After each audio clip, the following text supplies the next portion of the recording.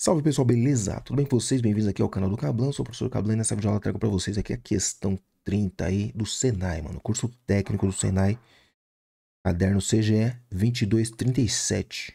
Beleza? A provinha que aconteceu aí domingo, dia 20 do 10. A margem de erro de uma pesquisa está ligada ao tamanho da amostra N. Após a análise do conjunto de relatórios de uma pesquisa de mercado, foi obtida a seguinte expressão em que n indica a quantidade de relatórios. Então, a margem de erro é 5 dividido por raiz de n, onde n, né, já foi dito ali, ó, o n é a quantidade de relatórios. Sabendo que havia, olha, 150 relatórios, ou seja, isso aqui é o n, né? Sabendo que havia 150 relatórios, a margem de erro dessa pesquisa é dada por, então é só fazer essa expressão aqui, né, mano? 5 dividido pela raiz da quantidade de relatórios. Questãozinha interessante, mas eu vou falar para você, é bem fácil, mano. Aqui é bem fácil mesmo. Vai simplificar essa raiz aí. É, vamos simplificar essa raiz aí, como, né? Fatorando aqui esse cara aqui, decompondo ele, né? Fatores primos aqui. Divide por 2 dá 75.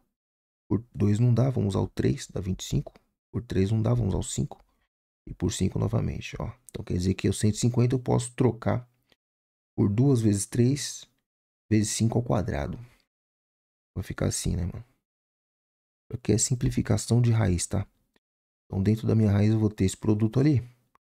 2 vezes 3, vou deixar o 6, tá? Agora, o 5 ao quadrado, eu vou separar aqui para você lembrar, né?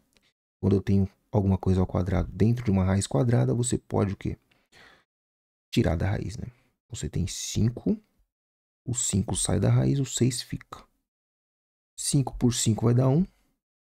E aí você tem isso aqui que não tem na alternativa, por quê? Porque você não racionalizou ainda o denominador, né, meu querido? Você tem que racionalizar o denominador, não pode deixar a raiz no denominador. E para racionalizar, você usa aquele truque, que é o quê? Multiplica em cima e embaixo, né? Pela raiz. E aí você consegue obter embaixo uma raiz ao quadrada. E a raiz ao quadrada é... Cancela, né? A própria valor que está dentro da raiz. Então fica 6 aqui que, que é isso aqui, mano?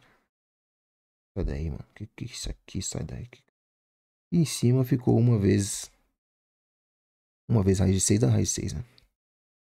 Então ficou dessa forma aí. Questãozinha bem de boinhas aí. É, racionalização de denominadores aí é questão tranquila ainda. Simplifica a raiz e tal. Racionaliza já era. Alternativa na 31. Você tem a alternativa a letra B aí, certo? Gabarito oficial. Fechou, mano? Espero que vocês tenham acertado mais essa aí. Tamo junto, é nóis. Até a próxima. Tchau.